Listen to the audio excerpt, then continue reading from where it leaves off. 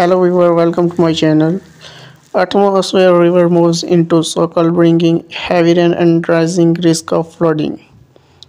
The first of two storms expected to batter the Southland began bearing down on the region Thursday, with significant rainfall and snowfall expecting Thursday morning and well into the afternoon, ahead of more dramatic downpours anticipated early next week.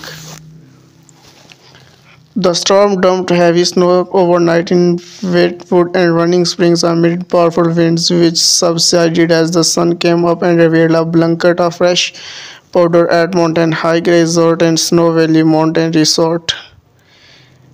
Gleeful skiers and snowboarders took to the slip slopes as crews worked to clear snow from nowadays in the area.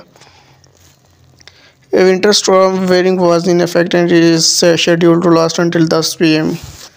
Thursday in the eastern San Gabriel Mountains, including Mount Wilson, Mount Baldy, Wrightwood, and the Angeles Crest Highway, as much as 18 inches of snow could fall above 7,000 feet in the area, with 6 inches possible at 6,000 feet and 3 inches at elevations as low as 4,500 feet.